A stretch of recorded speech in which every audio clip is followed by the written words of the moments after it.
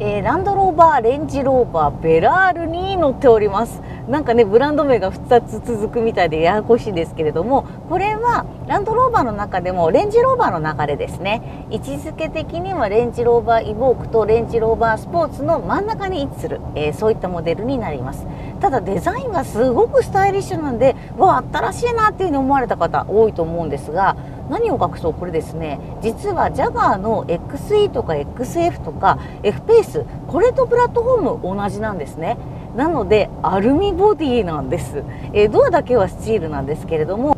なのでどちらかというとジャガーの F ペースとね比べた方が性格が分かりやすいかなというふうに思うんですが F ペースはねあんな形しててもやっぱりジャガーなんだぞっていう感じのこのスポーティー性能これが非常にこう歌われていましたよね。でそれと比べるとどちらかといえばこうしっとりとしたちょっとこうラグジュアリーなコンフォートな味付けっていうのがやっぱりランドローバーブランドで出す。レンジローバーブランドですあそういったことなのかなっていうふうに今乗って感じています。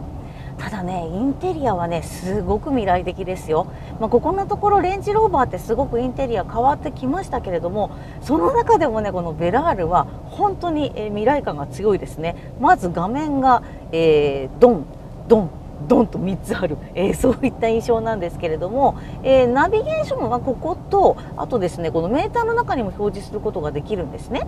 でここの下の部分これが車の設定だったりエアコンだったり、えー、そういったものを、え選ぶ、え画面になります、えですので今コンポートですけどポンと押すと、はい、エコモード。ポンと押すとダイナミックモード。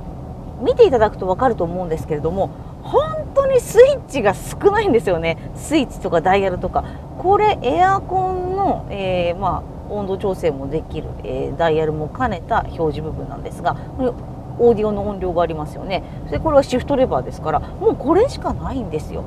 えそしてあとステアリングスイッチで操作するといった形になります。でこのステアリングスイッチも割とこうつるんとした感じでですねこういったデジタル画面に似たような雰囲気なのでもう本当に未来感たっぷりですね。ただこういったハザードボタンとか緊急時にどうしてもね必要にパッと押さなきゃいけないボタンはちゃんと独立されているところがやっぱりこうずっと車をねあのタフな車を作り続けてきたレンジローバーでありランドローバーなのかなというふに思います。